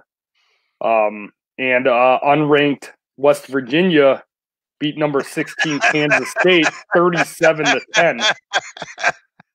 We're not laughing at you. We're just laughing Yeah, at the comments that are coming out. Yeah, we, we were talking about you know earlier we were talking about things that you know stupid things we've done in our past, and Richie the redneck pimp kick, Richie the redneck pimp king, comedian and former United States Marine. Uh, well, I, former active duty said I shit in a cop car. Mm, oh well, yeah, but you're a comic man, you know, and you know if, if you know if you get on SNL, that's what's gonna kill you. They're gonna retract that because uh, yeah, you, you you you did a Chicago steamer in, in in a cop car, so it's all good though, man. I still love you. You're one of my faves. I think you're Yeah, a funny there guy. Go so ahead. yeah, there was there was no other uh, upsets in the top 25, but uh, Wisconsin uh, they did not Mhm. play their game this week. They were scheduled to play against Nebraska um, after starting off the season with a uh, led by a five touchdown performance from uh, Graham Mertz, their new quarterback. Uh, he looked awesome, but unfortunately, was he tested positive for the 18 COVID antibodies, and, and now he can't Yeah. play because uh, he's a 22 year old athlete who's in the prime shape of his life and is going to beat this like a redheaded stepchild. Right. And yeah, So yeah, between between staff and athletes, twenty five now, isn't it? Is it 25 now? Last, last, last I, heard, heard was yeah. driving into work on Friday, and it was at 18, and it was like yeah. nine nine athletes nine staff members that had yeah, it. So. it's up to 25 now, and most of them are. It's almost actually it's the same most. It's it's almost evenly split between staff and. Uh, in in the Big athletes. Ten, the Big Ten, which is um stupid in how they're handling this, um, compared to every other conference in uh in college football. They decided uh, anybody that tests positive for COVID needs to be on a 21 day quarantine instead of a 10 day quarantine. So you can pretty much uh, count Wisconsin's season almost over with because all these people that have tested positive are now going to have to sit for three weeks. Yeah, it's over. Yeah. At least last I heard, unless yeah. they changed that rule by now. But uh, look, last I heard, they they're like, oh, you know, the the recommended is ten days, but we're gonna we're gonna go above and beyond and double that. Yeah, yeah, well, yeah it's just unfucking believable. Look, I I'm not saying that diseases are real. Of course, this affect people. It's hospitalized people. It's killed people. But when you're a young athlete in the prime shape of your life, you probably don't have any pre-existing conditions, so you're going to beat this like a redhead stepchild. And to do this is just, I don't know, I, I don't know. It it just seems just yeah, it's, they're it's, getting so over the top at it. Eh, you know, so over the top. Oh, so 10 days is what we recommend. Oh, okay. Well, then uh, uh, let's do uh, uh, three times that. And uh, let's do 21 days. Eh, eh, get the. What are you doing? Like, oh my god. So Wisconsin's uh, uh season is down the drain and I mean, looking at how their team looked, I mean, it's probably a legitimate top ten team that they just pretty much ended the season on. Yeah, it still um, won't, and that probably never will beat Ohio yeah. State. But anyways, yeah, I, you know, yeah, they have bad luck against Ohio State. Um, bad luck. It's not luck. They just can't beat that recruiting machine. Yeah. We I tried to talk. I want to. I think I talked about this last week, and I want to go more in depth with it. But I think college football is more about rec- college football, college basketball, college baseball.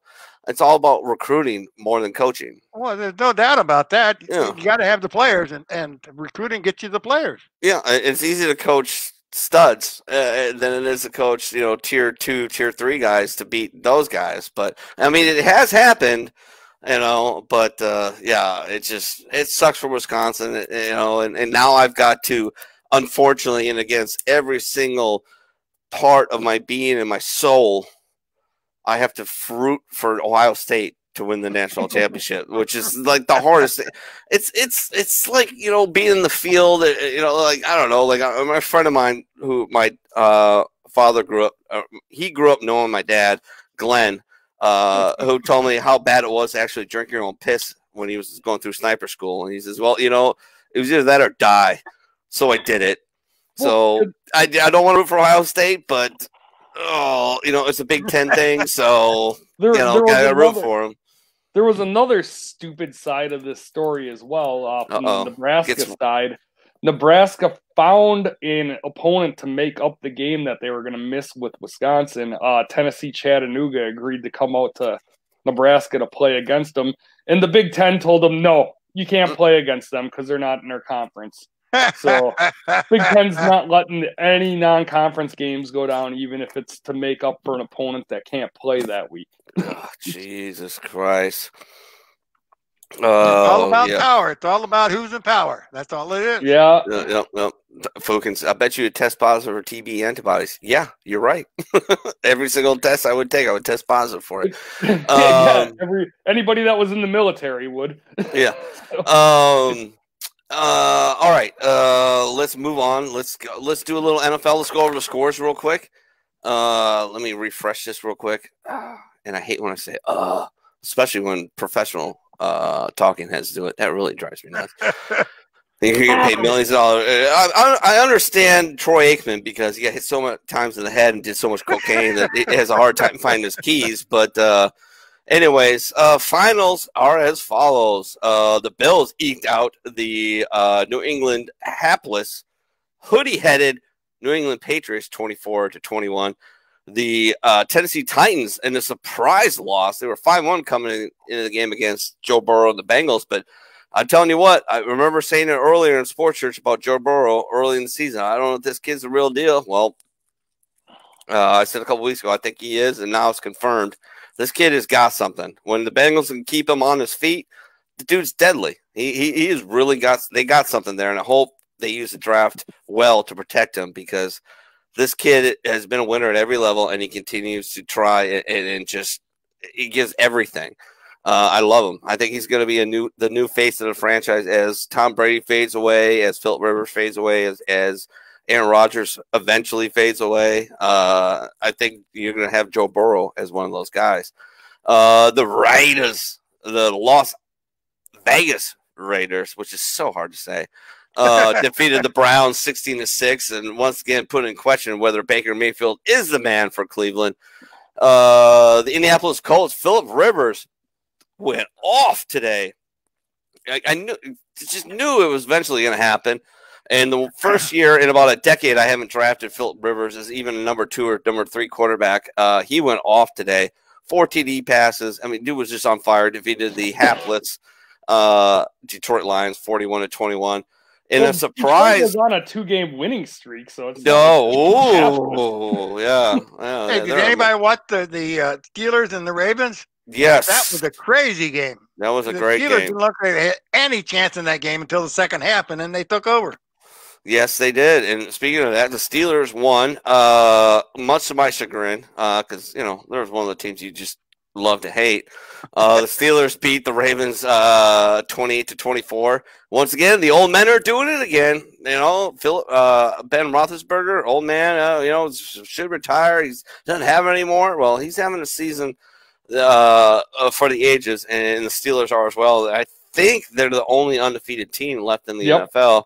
Uh, they defeated uh, Lamar Jackson, and uh, the game-winning touchdown was broken up, of course, thrown by Lamar Jackson to my tight end on my fantasy football team, Mark Andrews, and it got knocked away. So of course that happened. Um, it, the Vikings defeated the Packers. Packers are, ugh, and they were looking so hot early in the season, and have have uh, kind of fallen off the uh, the wagon lately and uh, behind uh, Cook and uh, four TDs by the running back. And if you had him on his fantasy team, I don't know who had him on his fantasy team.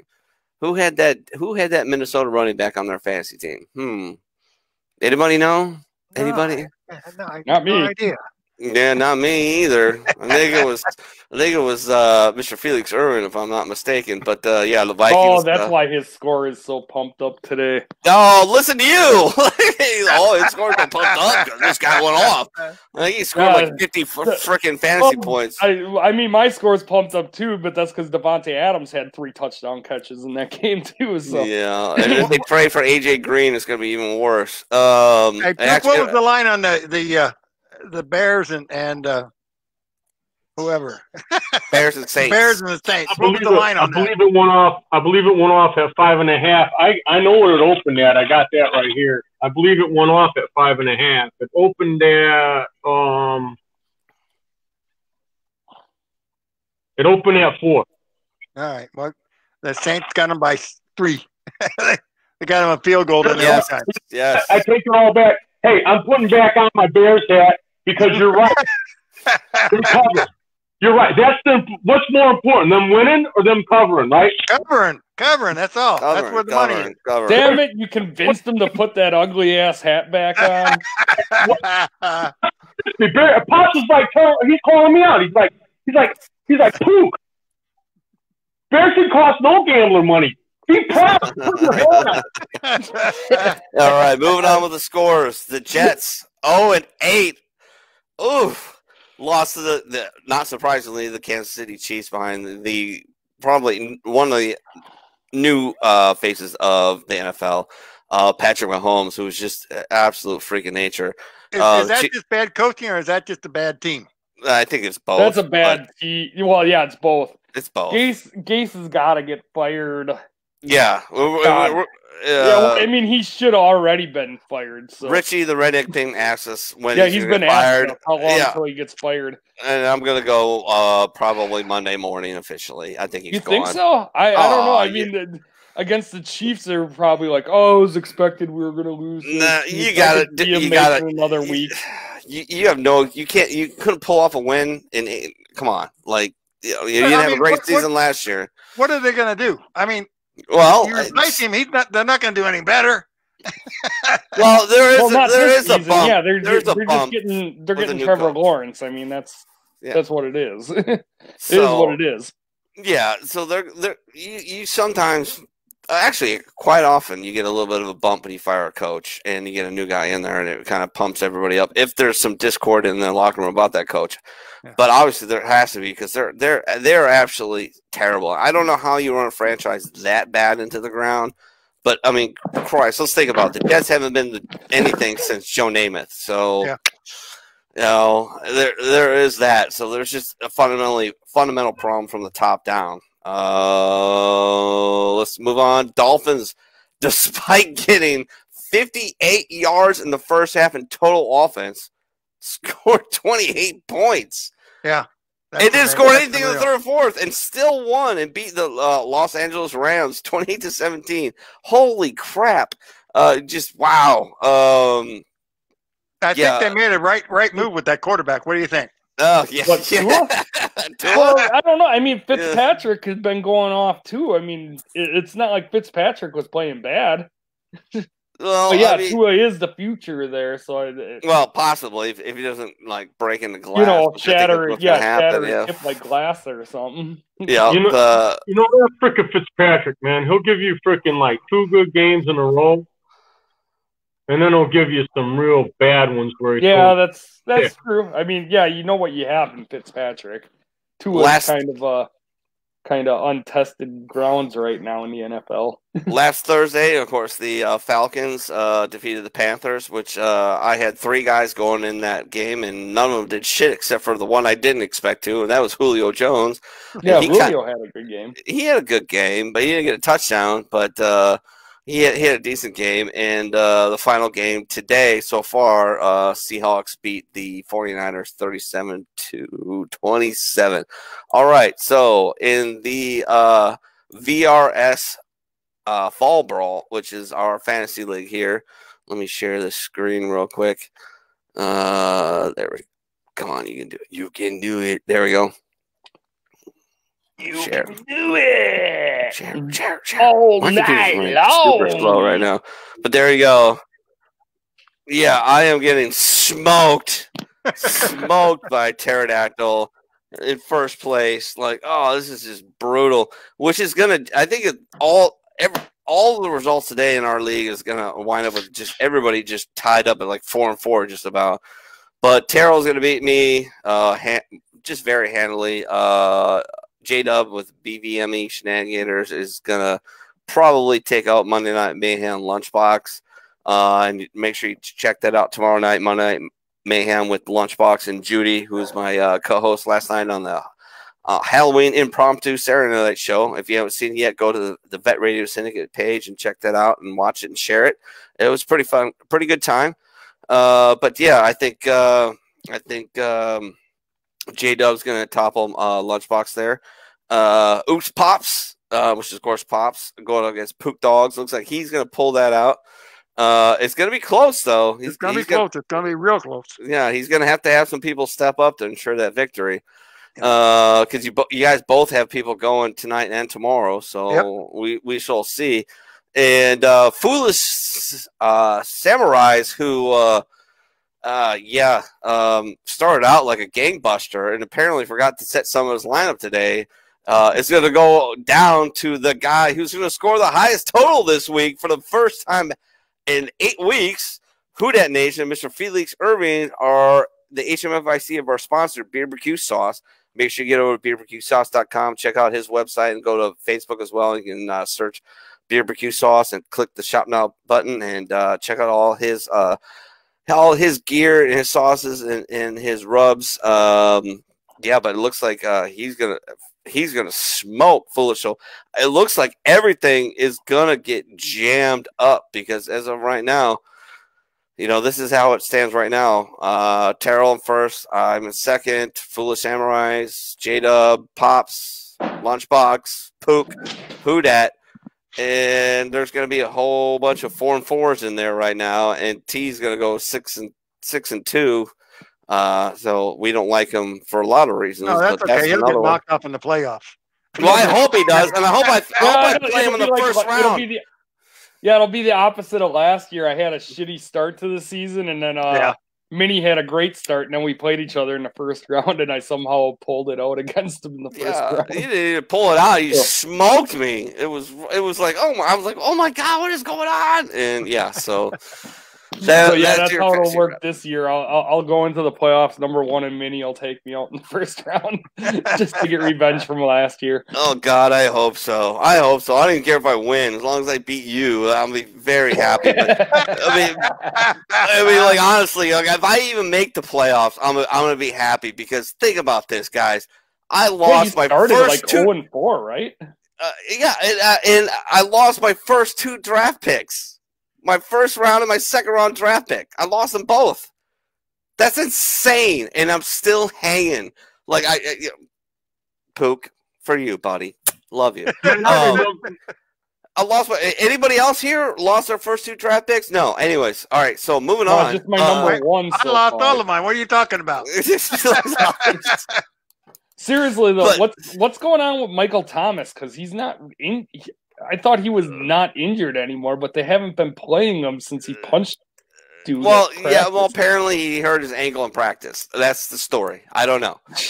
I don't think know. But I think I- they're I- gonna try to trade him at because I, I think something's got to be going on there with the team that he ain't getting not getting along with the rest of his team or something. The um the uh Jesus, I thought I made you cry Pook when you went off camera.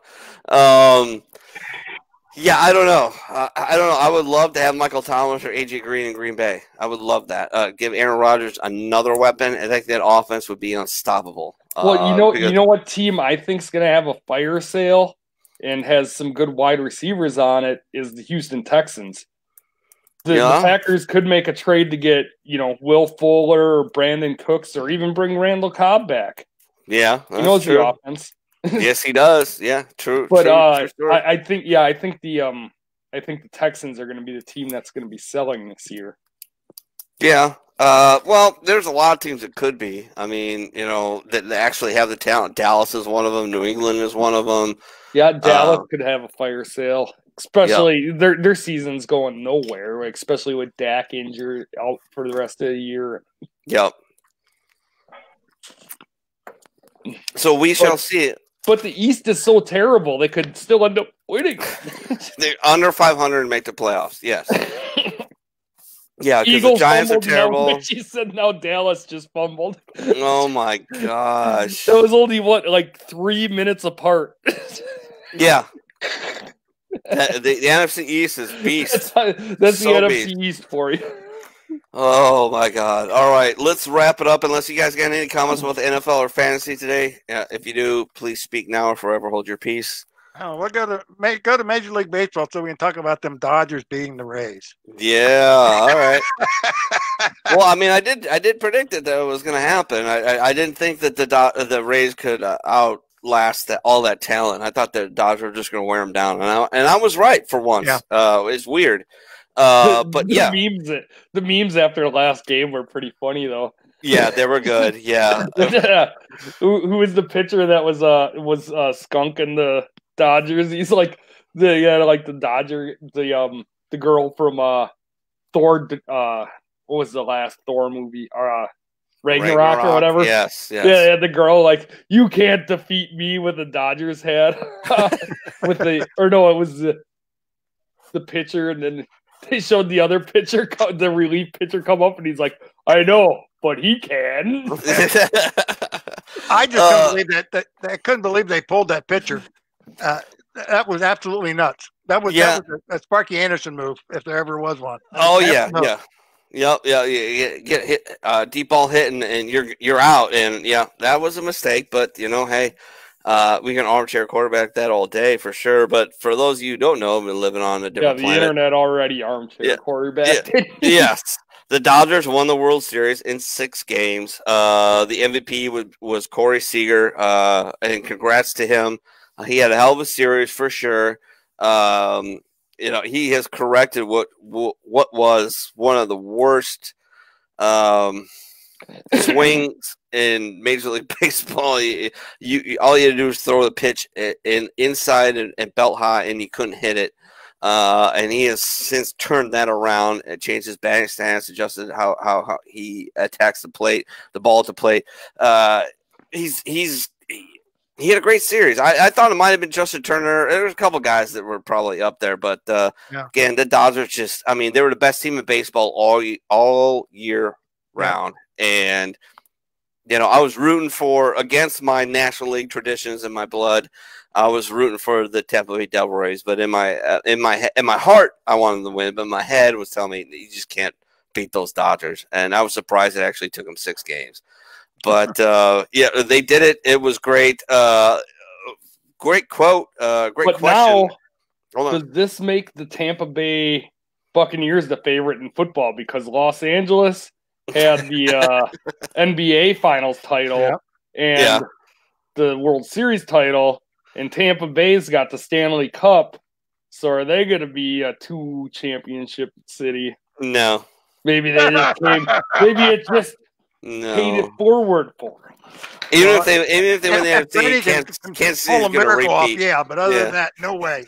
I think Kansas City's going to repeat, unfortunately. Although yeah. you got to watch out for for those Pittsburgh Steelers. We, we didn't talk enough about that, but they they're seven zero, oh, and nobody, yeah, including myself, I, saw that coming. So I thought they were going to lose. I thought they were going to lose today. I thought. oh, sure. They they looked like they were whooped. They were they were down and well, out. Even before the game started, I was like, oh, "Well, really? this will be the week that uh that every every team's got at least one loss." Yeah, yeah. Well, not so I don't much. think we're going to come um, to a week where every team has at least one win. I don't think the Jets are winning a game all year. but let's say Jimmy Kimmel asked the Dodgers if easier to win when the other team isn't cheating. Uh, so I thought that was pretty funny. Uh, uh, I'm sure the Dodgers would probably be like, "Yeah, Absolutely, uh, it was. Uh, another baseball news: the Cubs turned down a twenty-five million dollar club option on ace Jon Lester. However, John can retire very comfortably, even though he's made a ton of money. He can sit on his ass for the next five years, and guess how much money he's going to be paid by the Cubs for the next five years? Anyone want to take a guess? I have no idea. Pope? is going to be like one of those um, who is it? Um, I don't know. Bobby Bonilla deal. He's going to make ten million dollars over the next five years. Two million dollars every that. year. Yeah. I never get that.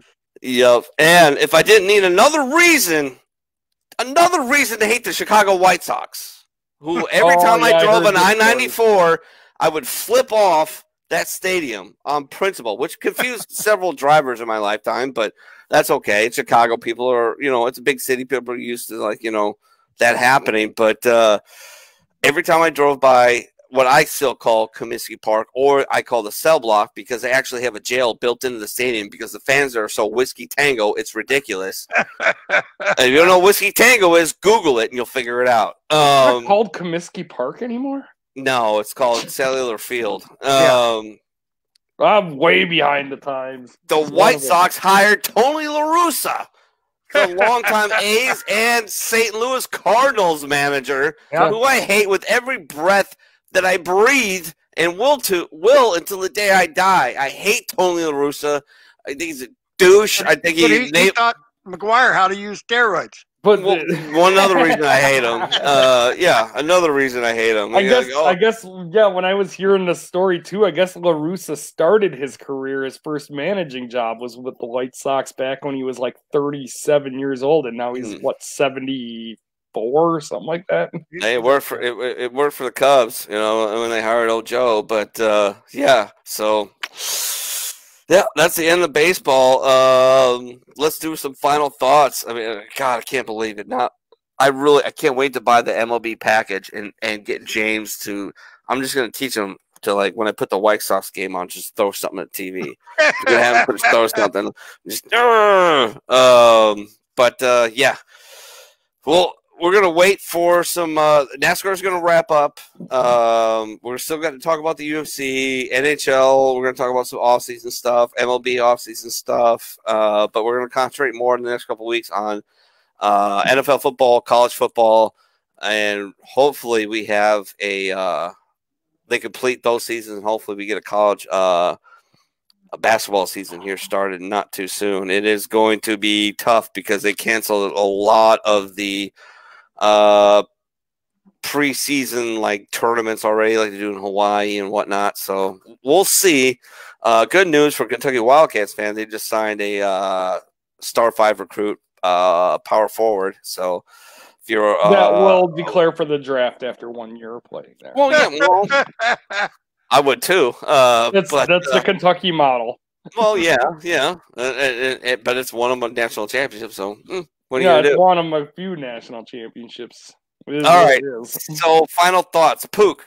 Since you were up first, you're gonna go first. And final thoughts.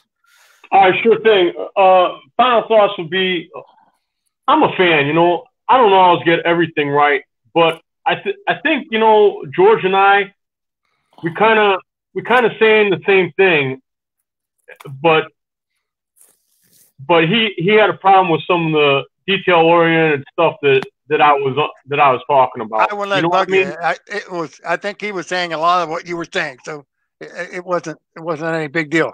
Yeah, really fair. no, but I, I mean, like eighty percent of the time. Well, just just just wanted to say as my final thought today, though, I am just a fan. I am not on the inside of the UFC. I never claimed to be on the inside of the UFC. George obviously is on the inside of the UFC, being that he's a wrestling coach and that uh that he went to the Ohio oh, Ohio State. The Ohio, Ohio The State. Ohio State University. The the Ohio is that what they call that place? Yeah. The, All right. you the gotta, you gotta, you gotta stress the the. the Ohio Ohio, State University, and you know his his uh his partner in crime is uh none other than the the great Hammer House champion uh Mark Coleman.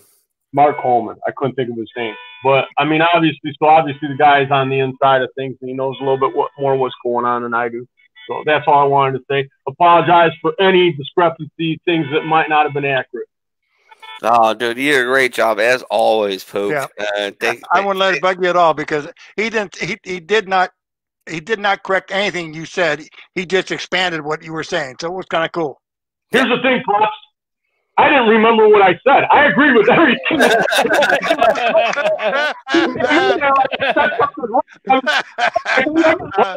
I don't know. oh my god! All right. Shut up and be humble because this guy actually trains with these fighters and everything, and he's a rep, you know. So I'm like, all right. All right, team. What you got? Hey, uh, Pook, I got a question for you. Did you get my message about uh the uh planned trip to Chicago? He's not No, using no, I did not. anymore. Man, Oh, I did you send that? texted you because I got to text Minnie and stuff about it too. Because I'm trying to maybe we'll try to work out our first ever sports church meetup. Oh yeah. But I think you- I we talked about it. When we texting back and forth, I got when we were texting, we were talking about it. We either talked about it or texted back and forth a little bit about it. Yeah, I sent I sent today. I I think November 14th we're gonna try to get down to. November Chicago. fourteenth. Yeah, yeah, uh, not not next weekend, but the All right. weekend after. I'll we're be gonna try there. to get down to Chicago. So Be there, baby Um, boy. And then yeah, Oh, Minnie, if you want to come out there, we could actually have our first actual meeting each other in person meetup. Oh, you guys could do sports church at a sports bar in Chicago Yeah, that would be laptop. awesome. That would be could do it. hilarious. That would be awesome. Sports awesome. church. Yeah, sports Yeah. church live. Um, where we're all in the same room. Probably uh, be on a patio. It is Chicago, you know. Yeah, yeah, yeah. That's true. It is. Yeah, I don't even know if we could do that now. You have to check the lockdown status down close it there. down, man. Yeah, And maybe there ain't no patio. It's Chicago. yeah. we're gonna yeah, be that's true. We gotta check that shit out because yeah, they're ten going. degrees.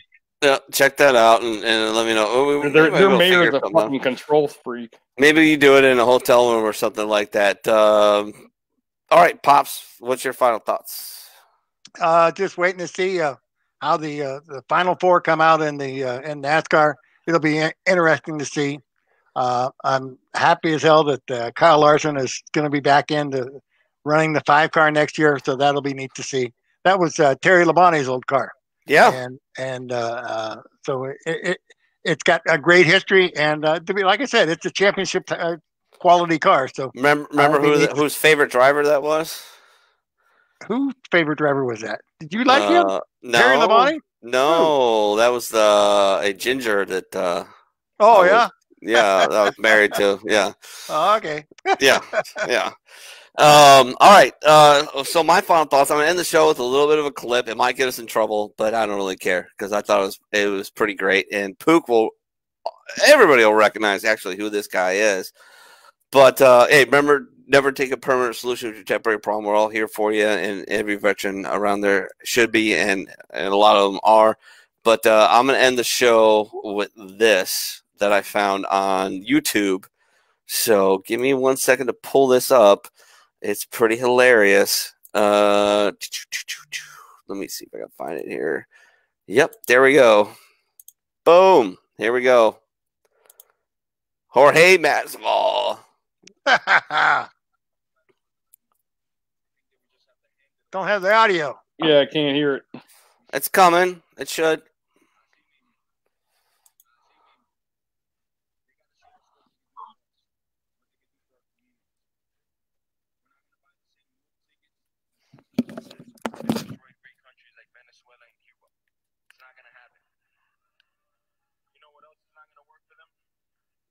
Is it not coming through? You son of a bitch.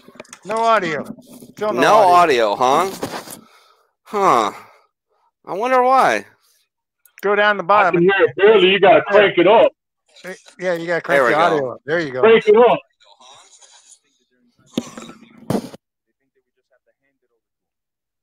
Huh. Hmm.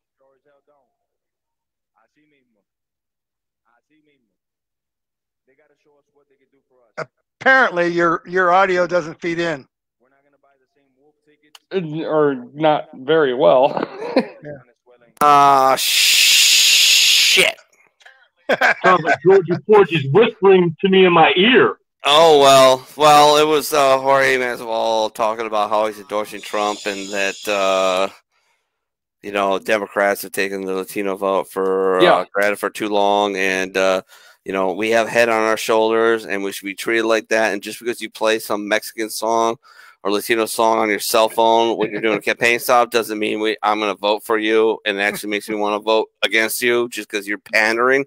So I don't know why the audio didn't come through. I have no idea. It's it's it's come through perfect before, but it is what it is. So Yeah. yeah, ex- actually, you know, playing that clip though, yeah, that's that's a good final thought. Uh, let's not elect somebody that we now have emails on that is owned by foreign entities. So yeah, get out and vote, and don't vote for fucking Biden that's owned by the Chinese Yeah. and the Um, uh, Russians and especially if you value your daughter not being sniffed at. Um, yeah, or, or you know, having the son of the president, you know, having sex pictures while smoking know what- what- crack with what- a fourteen-year-old relative. All right, hey, hold on a what? I'm second. I'm gonna hold on, hold on, hold on, hold on, hold on, hold on. I'm gonna kill the show. We'll talk afterwards. All right, we're, we're, done, we're done. Yeah, we We're done with this. much trouble that way. We're done Oh, with me- this. I no, love no, you no, let me guys. this. Thank you for tuning in, and and we're gonna kill the show. Thank you for tuning in. Please share the show out. This is the first time you've seen it. Please share it out again. Uh, and hey, Debbie. Uh, oh my God! You know I'm Irish uh, and uh, quite a bit of German too. But this McCluskey, I hope I got it right. Thanks for tuning in. Love you. Love you, Richie. Love you, Fukin Censorship. I know who you are, actually. I know it's your alt- alternate account. Jay Lopez. Have a great night. Stay safe. Love you all.